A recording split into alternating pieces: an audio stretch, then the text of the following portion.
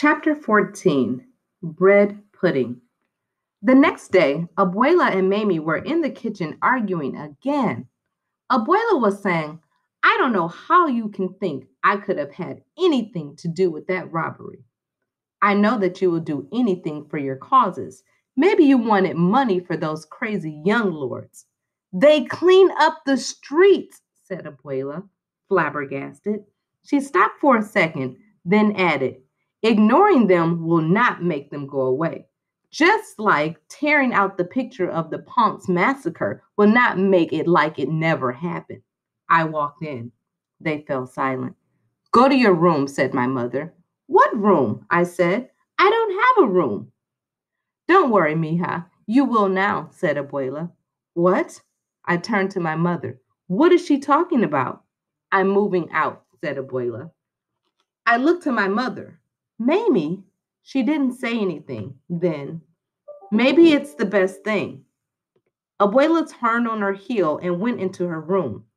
Mami, you're going to let her go? Mami ignored me. I could hear Abuela rummaging. She came back into the kitchen with a small packed bag. I will come back for the rest of my things later. She slammed her way out the door. Mami! But Mami had her head in the oven as if she thought she could hide there, but I knew she was getting ready to bake. She turned it on and lit it. As I watched the roaches make their getaways, Mami went to the refrigerator and took out some butter. Mami, why are you and Abuela fighting all the time? Mami didn't answer. Instead, she kept poking around the cupboard, bringing out loaves of old bread and crumbling it into a bowl. Do you really think Abuela had something to do with the break in? Ese sabrá Dios. She loves violence. She loves revolution. Eh, peque? For what? Mommy took some milk out of the refrigerator and started pouring it over the bread. A sickening wave of anger swept over me. She was on automatic all the time. A bomb could go off next to her and she'd react by making bread pudding. Mami, stop! But she didn't stop. She began mashing up the bread with her hands letting it squeeze through her fingers like she was a robot. Seeing her thick, callous hands working with the bread made me nauseous and angry.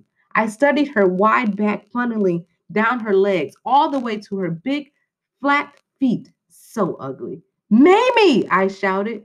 Don't you dare yell at me. She slapped me. I almost laughed as bits of bread flew through the air before creating a cushion between her doughy wet hand and my cheek. At least I got a reaction out of her. I couldn't look at my fat mother. I decided right then that I wasn't going to be like my mother, the slave. Mami raised her hands before breaking some eggs over a bowl, then hesitated, holding the shells for a moment as if she didn't know what to do with them.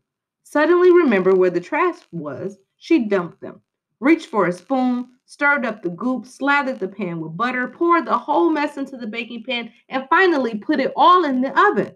She sat down with an empty look in her eye. She sighed. Yes, said Akabe, she said. It's finished. What was finished? The baking? Our relationship? The Lord? The young lords? I looked at the grease stains on the walls and at my mother's pathetic attempts to make everything pretty with plastic and roses. I stormed out the door to find Abuela, but she was nowhere.